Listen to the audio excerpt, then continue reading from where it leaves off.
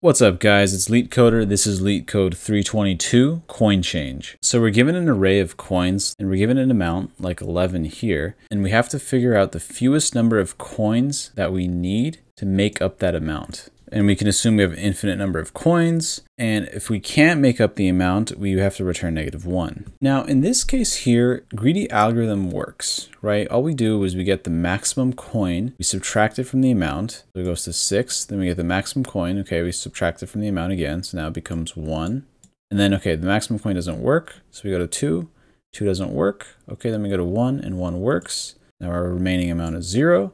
And so we just returned 3 because we did it 3 times. However, what about this case here? So our amount is 6, and the answer here is going to be 2 because 3 and 3 is the only way you can get to 6. But if we do our greedy algorithm, we would subtract 5 from 6, so we would get 1. And then we see there are no coins that go into 1 here, so we would have to return negative 1.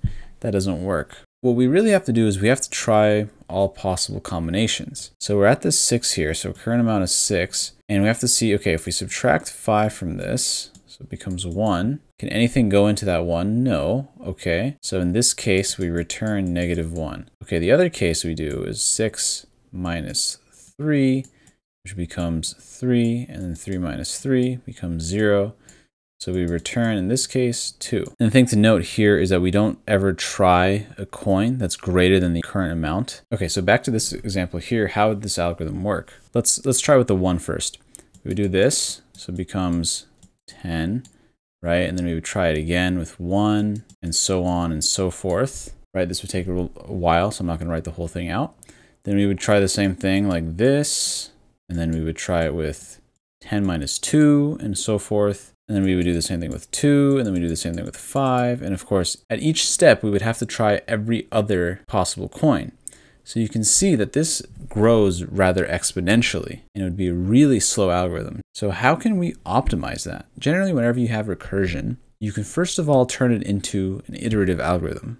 And second of all, when you have an iterative algorithm, you can memoize or store things in a data structure and reuse those values later. And this is called dynamic programming. So instead of starting out from a big value and going smaller, we start from a small value and kind of build up. So what do I mean by that? So we're actually going to loop through each number all the way up until 11. So we want to have a data structure where each key represents an amount, like 1, 2, 3, 4, 5, all the way up until 11. And each value represents the fewest number of coins needed to make up that amount. We start out with 1, the fewest number of coins needed to make one is just one because we can make that with this coin here. Then we go to two.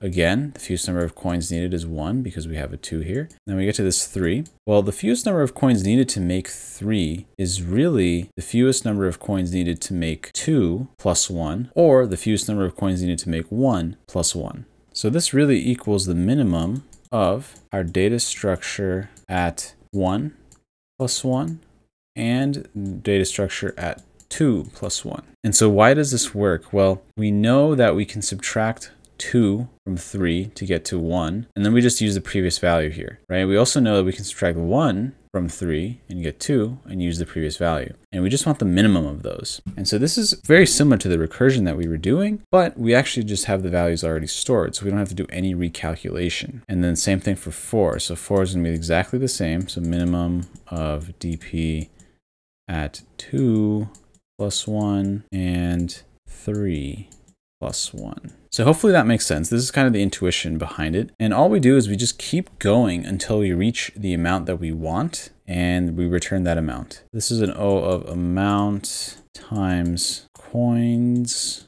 length algorithm. And then in terms of space complexity, it's just O of amount. Before we get to the code, if you found this helpful so far, please give a like and a subscribe because it really helps the YouTube algorithm. And with that said, let's get to the code. Okay, first let's start out by creating our data structure here. So we'll call it coins needed. Now we need to loop through all the way up until amount. So this is going to be for i in range starting from 1 all the way up until amount plus 1 because we need to include amount. And now we loop through each coin. So for coin and coins. And now this is where the algorithm is a little tricky. Coins needed at i is equal to the minimum of coins needed at i and coins needed at i minus coin plus one. Now this won't work right now because Python, if you try to access a key in a dictionary that's not there, it's going to raise an error. So what I'm actually going to do is import from collections, import default dict, and I'm going to create a default dictionary here. And the lambda function is just going to return float infinity. In other words, the default value is infinity or a very large number. So we know that the min will not take that value. For example, let's say i is 1 and coin is 5 it's just going to return infinity and we know the minimum won't take infinity. And the other thing we need to do is set our base case and that's coins needed at zero is equal to just zero because we know that to get to a zero amount you don't need any coins.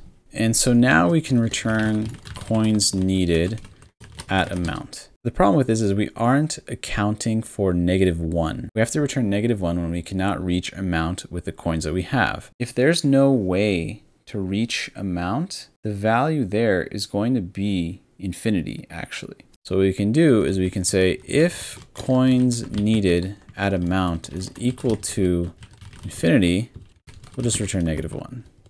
Else we'll return coins needed at amount.